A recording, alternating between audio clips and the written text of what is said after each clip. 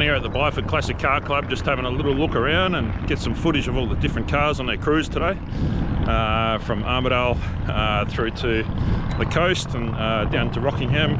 Got some nice drone footage there, I hope. So uh, yeah, sit back and enjoy. Should be good.